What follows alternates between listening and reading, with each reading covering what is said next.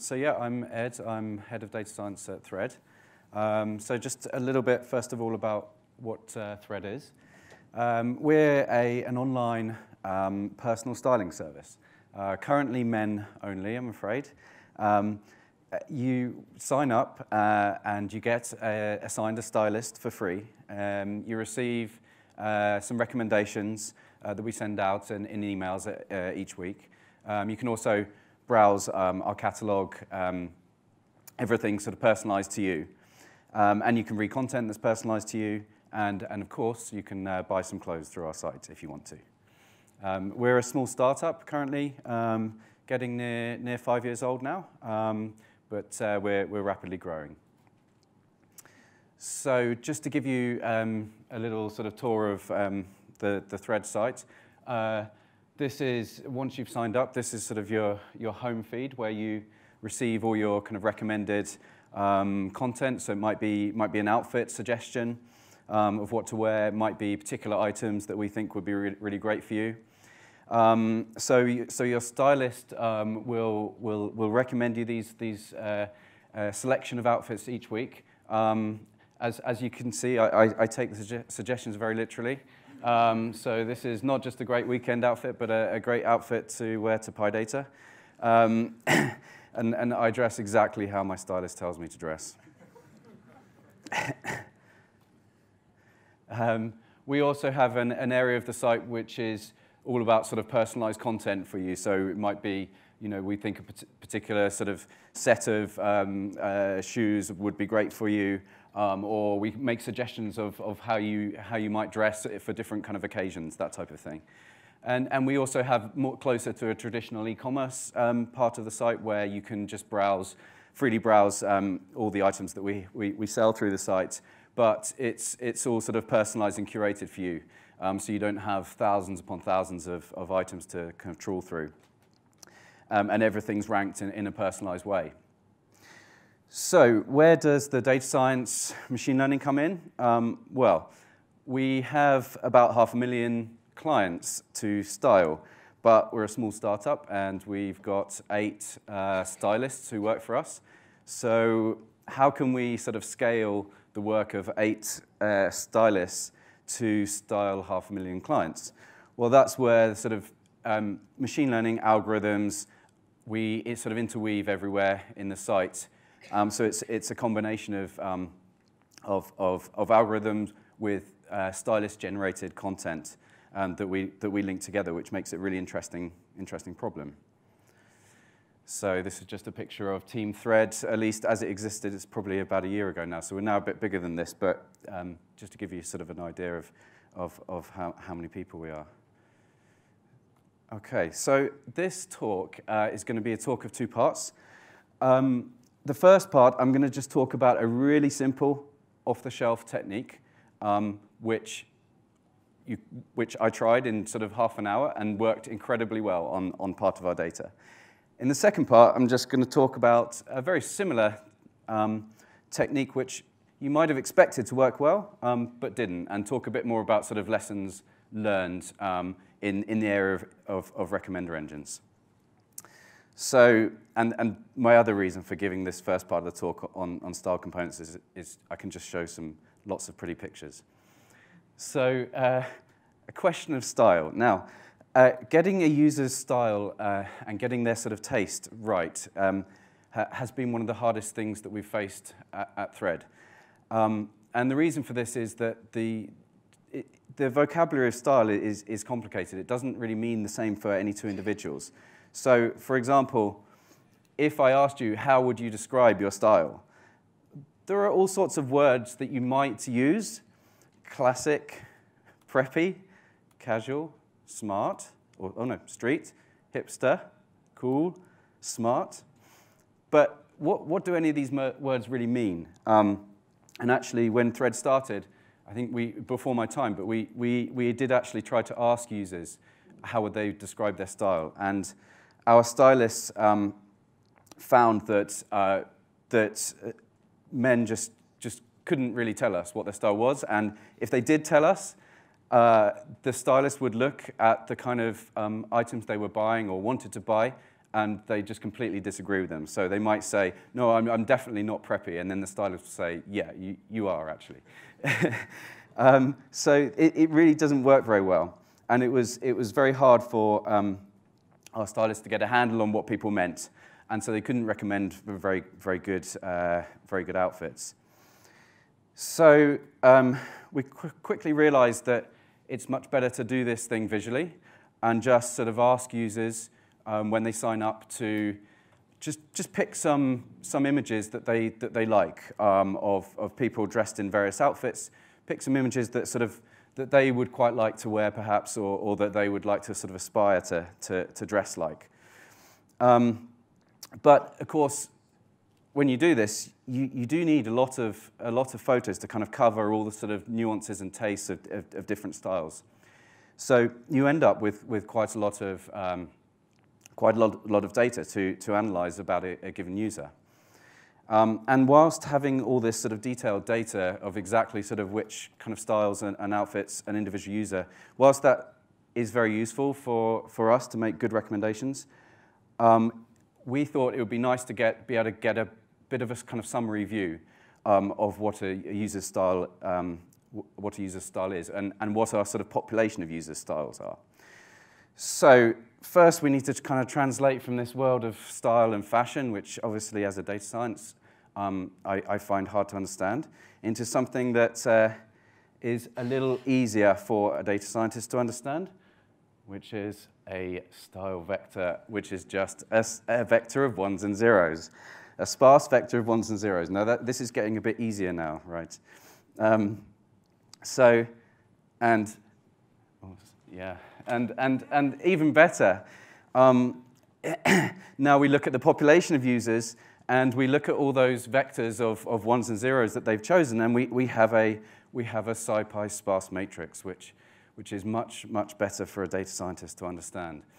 So um, we're in the world of sparse binary matrices, and kind of a natural thing to try to do if you're a data scientist, you just want to see how this data looks, is to see if we can do some dimensionality reduction in this, in this, uh, uh, in this big matrix of our users and the style photos that they've chosen.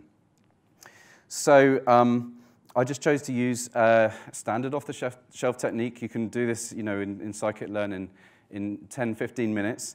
Um, non-negative matrix factorization. Um, why NMF? Um, well, I, I thought that first of all, that we have positive data here, we have ones and zeros, but also um, I didn't really want sort of negative styles coming out. So I, I, didn't particularly, would it be useful to say you're a negative hipster, for example? Well, yeah, may, maybe, maybe it would actually. Um, so, so yeah, so I chose this method, very simple off-the-shelf method, and it just works amazingly well here.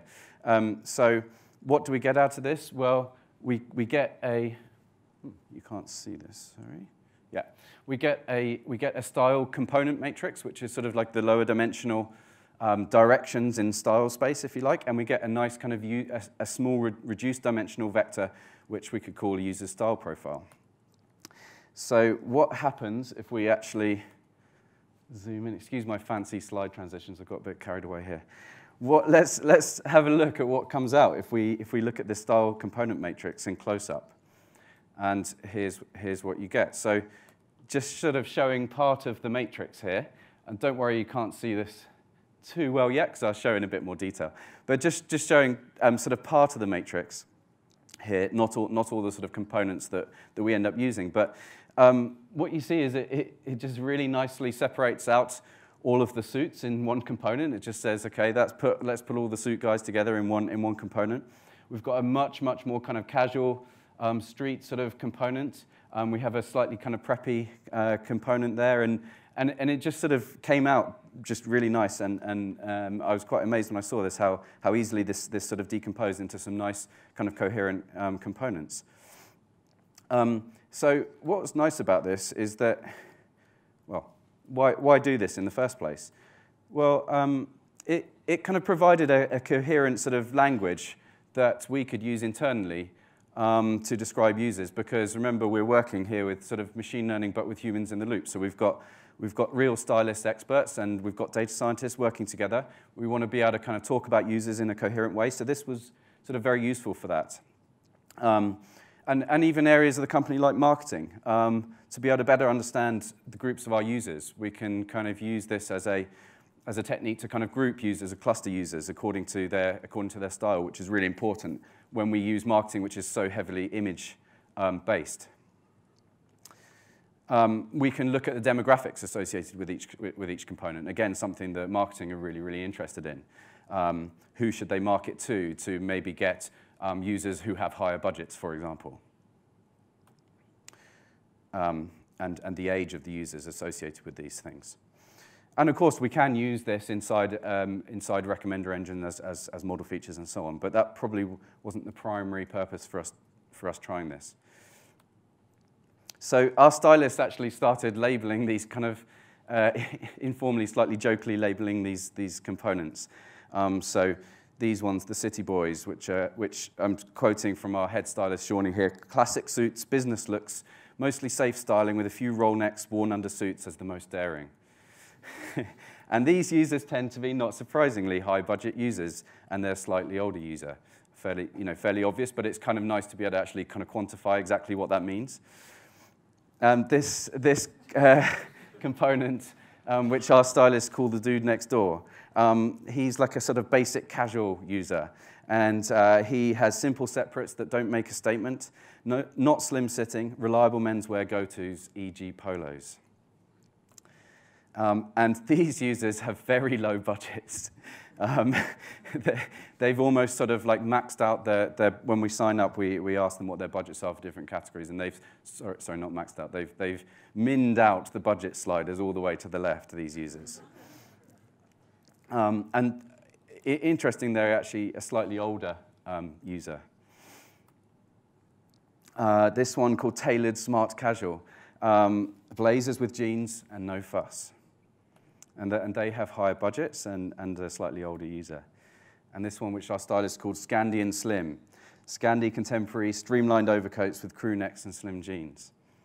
So, and they, had, they have actually um, low bud, fairly low budgets and, and a younger user. So yeah, it's been really kind of interesting just to look at this, a very, very simple technique that kind of works, works really well. Um, and it lets us get a nice, easily understandable kind of style, simple um, style profile, low dimensional style profile for our users. So for example, um, my style profile, profile here indicating that uh, at least when I signed up to Thread, I had no idea how to dress. Um, obviously, I can't quite decide sort of where, where I sit, right? Hence why my stylist is, is helping me out. Um, so just, you know, you can get a kind of like a nice sort of distribution over, over the different style components here. So these are just picking out a few examples. Um, um, one thing is definitely clear that I was not going to be into biker jackets, which is component number six here. Um, so, so yeah, um, uh, I wanted to show that as a nice sort of visual example of uh, sort of interesting collaboration between data science and um, human experts, something that, um, as I said, was just taking a, a really, really simple off-the-shelf technique and just, just happened to work very well on this, on this data. Um, so on to part two. Um, a little bit different here. Um, I'm going to talk about some of the lessons that we've learned at Thread um, about uh, some aspects of building recommender, recommender engines. And um, the kind of link to the first part of the talk here is that, uh, well, one of the, obviously one of the main techniques in, in recommender engines is collaborative filtering.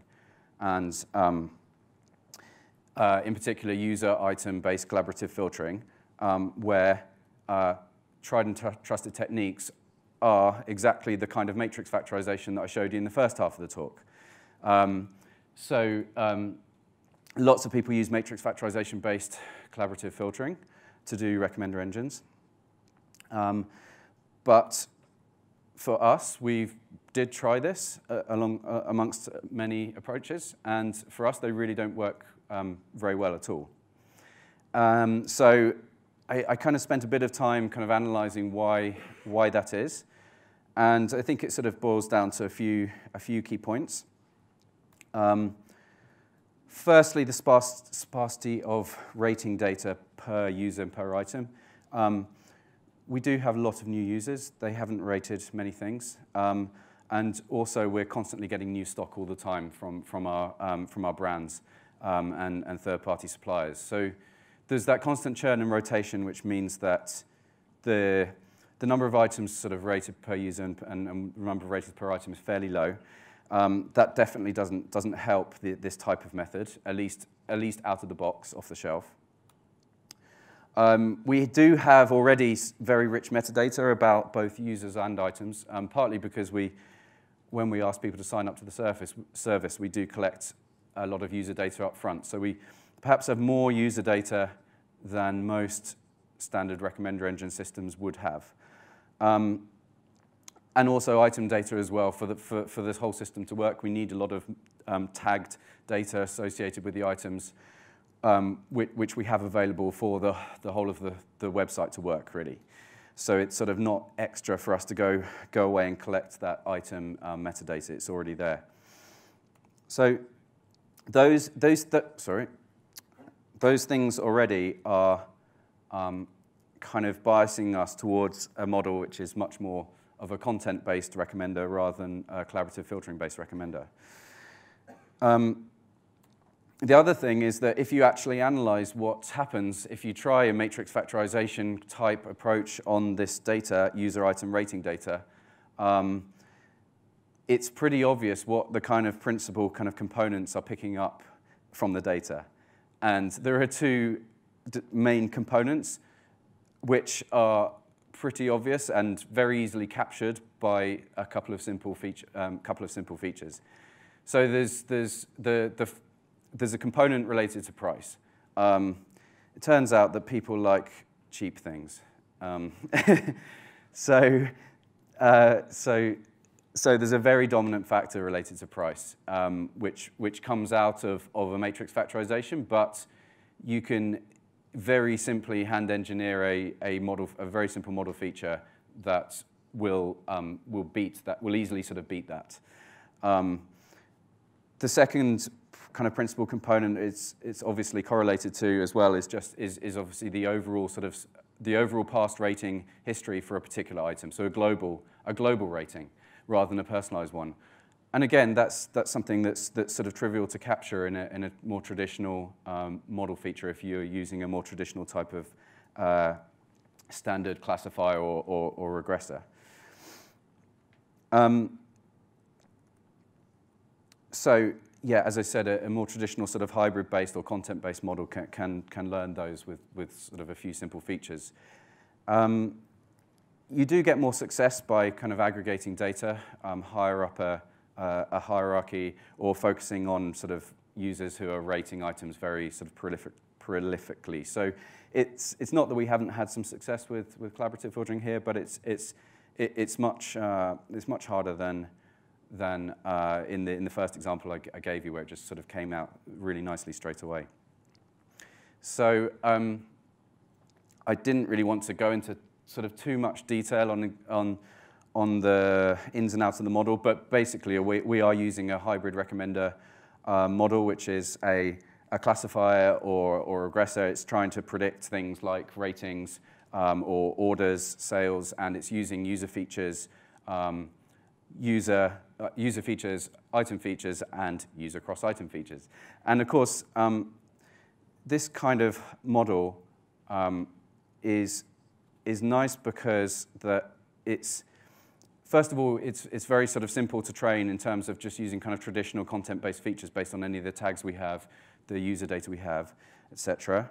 Um, and if you want to put in uh, features which are based on collaborative filtering, you, you, can do that. You can put them in as, as user cross-item features, either by kind of pre-computing um, user, user embeddings and item embeddings first as part of a pipeline and then feeding them in as separate features, or you can try and learn the whole system end to end, but I, am not convinced there's um, a huge advantage in, in, in doing that. Um, or at least I've not found that so far. There's one area of uh, model feature where we've, we've had quite, uh, quite, a, quite a bit of uh, success with, um, which are real-time uh, user event-based model features.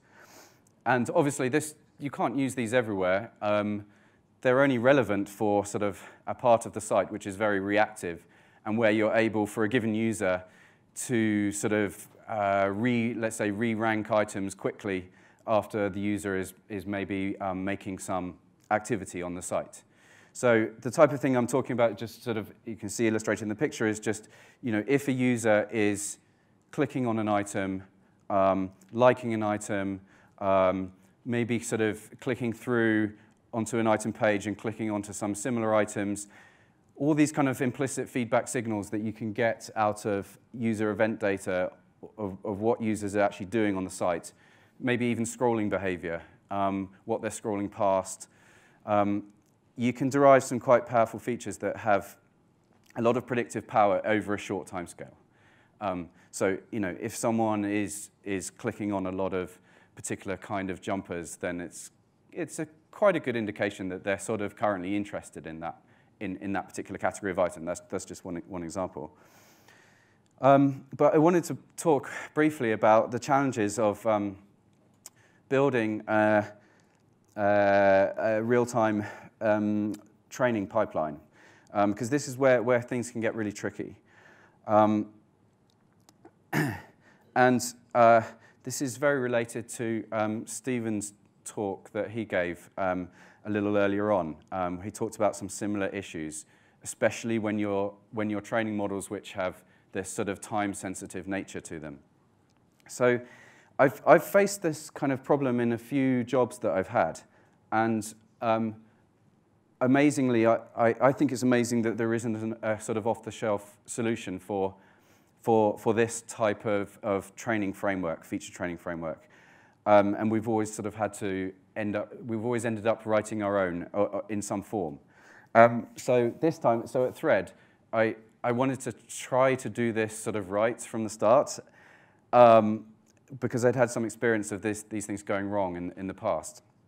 And so I, I kind of gave a set of, uh, a, a, wish list for a real-time feature pipeline to, to our data engineer.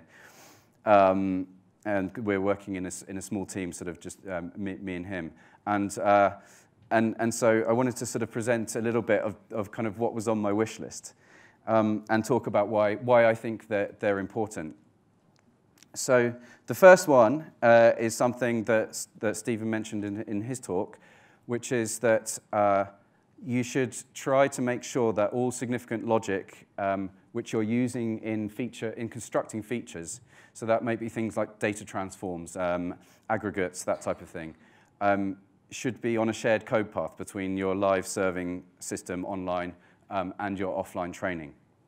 Um, I've seen um, cases where this has gone wrong subtly in the past, and it's, it's always very, very hard to diagnose um, where the problem is. And, and an example um, from a previous job was in, in ad tech, um, was where we had uh, a model training, model trained, which was a, a Python separate model training uh, pipeline. And as part of that, we were taking a URL string and we were splitting the URL into the different sort of top level domain and sub, um, subdomains below. Um, and there were a bunch of sort of special cases with this sort of URL splitting. So it wasn't completely, uh, a completely simple, obvious kind of function. But, but in that tech stack, the online uh, model that the, the actually um, served, the, served the recommendations, because it was ad tech, it was very latency sensitive. So that was, that was rewritten in, um, I think it was in Java. And, and so it was, that part was completely rewritten. The URL would come in live from the stream, and it would be split. But that was a Java function that was doing that splitting. And there were unit tests on, on both these functions separately, the same unit tests. But still, there was a very, very subtle difference in how the splitting worked. And when you have something which um, when you have model features that are trained, you know, the coefficients are learnt and conditioned on something being a feature being transformed in in precise way, you can get completely, completely um, different results online, obviously, even with a small subtle bug. And the only kind of way that you learn about that and can detect that is if you're actually tracking a live model performance metric, like if you're able to track live AUC from the actual live serve results, and not test set AUC, but live AUC, and you notice that your live, a, live a model AUC of your classifier is way worse than your test set AUC that you've got out of your model training pipeline. When you see that, what, what do you do? It's, it, it's, it's very hard to sort of pin down where is that AUC difference coming from. Like I, I thought we should have, should have had a, a, a 0.8 AUC, but what I'm actually seeing is 0.7. Like why do I have that huge difference? And we spent ages trying to track down that one, and it turned out to be a tiny, tiny bug in a, in a, in a URL splitting, splitting function. So ever since then, I, I kind of had this, um, this, this, this idea that uh, it's really important to try to share code between online and offline. It, sometimes in latency-sensitive applications, it's hard to achieve that. But I think you should try and make every effort to achieve that if you can. Uh, Second uh, item on the wish list was it, it must be possible to painlessly reconstruct the state of user feature data at arbitrary points back in time. Um, and this, this is where the, these kind of like time-sensitive real-time features, this is particularly important in this, er in this area because, um, because of the, the old accidental peeking into the future problem and accidentally kind of using user events from the future uh, where you shouldn't be during, during training. Um, normally in machine learning, you know, maybe a few, uh, a few, you could perhaps get away with that sometimes without hurting you too much. But with the, these kind of real-time uh, features, it, it can really bite you um, if you get this wrong. Um, a, a relevant example in our case would be um, it turns out, suppose we're trying to predict the likelihood that someone will make a purchase of an item. And we're trying to use all, the, all of the user events up to the current state of time to make that prediction of whether they're likely to, predict, to, to buy an item. Um, it turns out that a lot of users um, will, uh, will, um, will like items, so they'll rate the items that they've bought, but they'll, but they'll like them after they've bought them. So they'll, they'll buy something, and, but then they'll think, oh, I probably should have rated that, and I'll, I'll give that a, a, heart. So imagine you've got um, an accidental bug here where you're accidentally using the fact that a user has liked an item to predict whether they're going to buy it, and you're using the fact they've liked an item uh, fr from the future. And obviously, you're going to learn a, a, really, really strong model coefficient. It's going to latch onto that, and it's going to love, it's going to love seeing that. Um, so it's that, type of, it's that type of problem that you have to be really careful to guard against.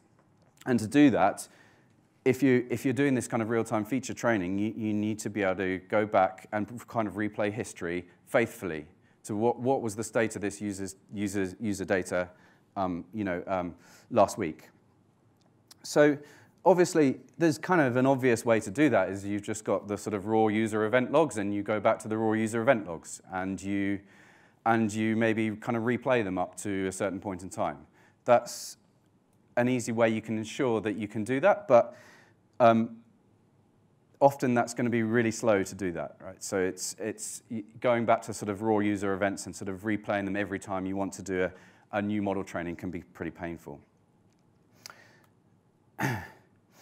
so uh, the third wish list is kind of necessary for a real-time uh, uh, feature pipeline because it needs to be real time. So you need to actually have the user data available for you for use um, to, to make recommendations in real time. So it needs, you need to be able to query for up-to-date user data. Um, and where, where this is kind of non, non-obvious is if you are if, if you're making sort of derived features, say little aggregates based on based on user event data. For example, a sort of a histogram over the categories of items that a user has been clicking on, something like that. Um, you probably want that stored in a form where you can easily kind of retrieve it in that, in that aggregated form rather than just get receiving the raw, raw events. And the final one is that it should be easy to experiment with new features um, derived from these raw user events. Um, because there is kind of one obvious solution for the first one to, that sort of satisfies the first three on the wish list, um, which is that you have the, user, the raw user events. You have maybe these aggregates which you're storing to serve online, which is some, something like, say, a, a, dist, a, a, histogram over, the, over categories of items that the user has been clicking on. That could be one aggregate that you could store in a, in a compressed form to just pick up online. So one thing you could do is you could just, you could just sort of snapshot and, and cache the, a kind of a, a history of these aggregates as they change over time, over history. And during model training, you could go and look up oh, what was this, what was this category distribution last week for this user? I could just go and retrieve that if I've been writing it out. But the problem with that is that it's, that's fine for one particular feature that you've made and is working and is live in the model, and that, that works fine. But what happens if you want to, to, to change the, the way that the, um, change this aggregate in some way? You've sort of got to go and redo the, the, the whole thing um, if you want to come up with a new feature based on the raw events. So it's quite surprisingly hard to sort of fulfill all of these things um, at, at, once. And we, we had a look into this as a team, as I said, and we didn't find any kind of reasonable off-the-shelf solutions for this. So um, James Harlow, uh, who's pictured here, uh, he, uh, he's, he's our data engineer, and, and he went away and scratched his head and, and, and came up with a design that is actually, is actually working, working really well. Um, uh, that we just put together from various kind of components. So just describing this at, at, at a very high level, because I don't have too much time. Um, we've, got a, we've got a raw uh, JSON uh, events aggregator, which is, which is FluentD. And they get separated into two streams. One is we're just using, we're using Amazon Kinesis for this, because um, it, it's easier to use a managed service. Um, for the, so the, the online the online path is sort of on the left in green, and the offline path for training is on the right in red. We're store, just storing the raw events on S3, so that's sort of fairly standard. Um, but the first bit, the nice bit, I think, that achieves point one in the wish list, which is that you should share code everywhere you can, is that we've got Spark, we've got a Spark streaming job that is constructing live real-time user aggregates, just very, these very simple things like window functions, um, histograms of user events per user. And, and that's doing this live in a streaming manner. And then we've got offline the same code, same Spark code working offline to construct the same aggregates from the raw event logs if we want to replay offline through, through the whole of history. So that's nice because that's got some shared code. Then we've got a live user feature data cache, which I sort of said, you know, you kind of want if you're latency sensitive. Um, we're just using Redis, but it could be any kind of key value store you could use for this. And uh, then we've got um, a historical user feature aggregates cached on S3 for a particular feature. So we've got this sort of like history of these aggregates um, for a particular feature kind of cached on S3 that we can just go and retrieve. And then finally, for serving, live serving, we have just shared Python code that constructs a feature from the user data live in the recommendation server online, but the same Python code, exact same Python code offline when we run model training is used to pull from these historical um, user feature aggregates on, on S3. Um, so it kind of pretty much achieves the wish list so, um, and is, is working quite nicely. So I just wanted to sort of show that at a high level. All right, I'm, I'm kind of out of time, I think, aren't I? Um, so I'll have to, it's a shame because I have to leave this one, the pants effect, for you to ask about. Two minutes. Okay. All right. Uh, this is just, this is just a, a, funny kind of little lesson learned from what can happen in, in with, with the, what can easily happen when you construct training data if you're not careful about little biases in the way you're collecting the data. So um, what happens is if you, if you build a little model that's, say, for example, trying to predict the probability of a user ordering an item after they've seen it somewhere on the site, uh, what you'll find is that pants have a very high order probability. Um, and, but th this doesn't really mean that you, you want to be necessarily recommending um, pants to the user all the time. And uh, where this, we, this was a sort of bug that we had to track down or not really a bug, but a, a training set construction bias in the end. Um, and it kind of comes from the fact that we were just collecting um, training data from all across the site, and we weren't sort of caring too much about where it came from. If a user sees an item somewhere on the site, we count it as a training data point. But not all those points are equal because people operate in different modes on different parts of the site. When they're actually going and, and looking for underwear, they are not so picky about their pants, right? They, they, they, they'll maybe view a few items, but you know, if they're British, it's Marks and Spencer, they'd probably just buy it. Um, it's, it's a multi-pack, so, and users love multi-packs, so they'll probably just, just buy that.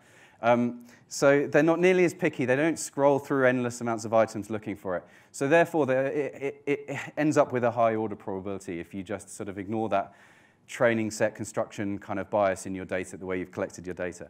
So we had to do some stuff to control for that, but I just thought it was kind of an amusing example. So yeah. And yeah, thank you. Uh, uh, just, yeah. Um, yeah, just wanted to say that um, we're also looking to expand our team. So if you like this kind of area and like to work with me in detail then on this stuff, then come and chat to me afterwards. Any questions? Yep.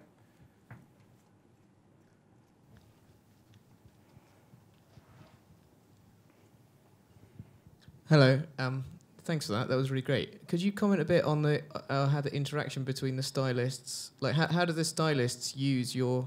So there's some sort of live recommendations that are on the site, but how, what, how yeah. does that interaction work between what they come up with and what you do? Yeah, that, that um, the the stylists are basically coming up with sort of candidates, if you like. They're they're, they're curating um, they're curating outfits and they're and, and they're curating sort of items that they really like for different kind of sets of users, that, that, that kind of thing. And then because obviously there's no way that a, a, an individual stylist can sort of send out recommendations manually to um, hundreds of thousands of users, then that's sort of where the machine, machine learning model comes in and, and will rank, rank items. And obviously when you browse the site live, then that's um, a machine learning model which is, which is ranking the items for, for you um, live. Um, so yeah, that's sort of roughly how it, how it fits together. Yes.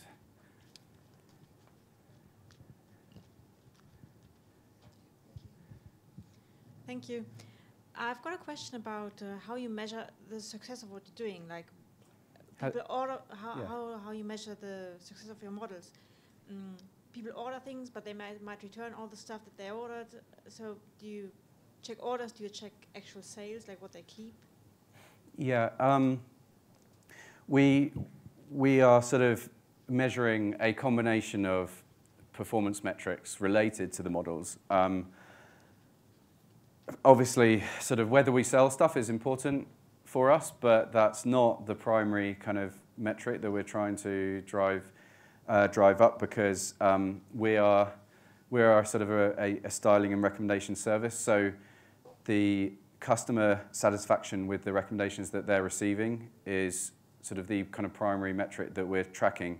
So we, we track that through various ways. So you can, on your home feed, you can, you can sort of rate, say, the outfit that we recommend as a whole, and we use that rating data as a sort of metric for the, the main kind of um, recommendations of how we're doing there, and also user user surveys and direct kind of user feedback as well. Yeah. Um, do you have any plans to offer your service for women? Um, yes, we do intend to. Um, I just don't, I, I can't be any more specific on the timeline. Um, not immediately. Um, I think uh, we're, we're like, we are expanding and um, we are likely to first sort of expand internationally before we do um, women's service. Um, but def we definitely want to do it. It's just we're sort of too small to have the kind of resources to, to do that right now. Yeah. Hi, thanks for the talk.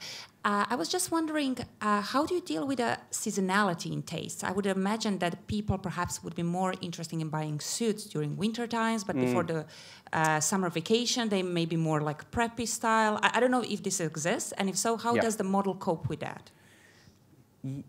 Yeah, um, we we do have some seasonal features which we learn in the model. Um, fairly simple things. Um, um but uh, it's, it's, it's quite hard. It's an area where, um, it's an area where that, that's, that's part of the sort of service which is more kind of curated by the stylist. So they'll, they'll sort of say what type of outfit is appropriate for winter versus kind of summer when they're, when they're sort of putting together the, the outfits um, that, from, from the kind of candidate set that we use. Um, so it's not so much part of the model as being something which is sort of manually created. Yeah. Hey there.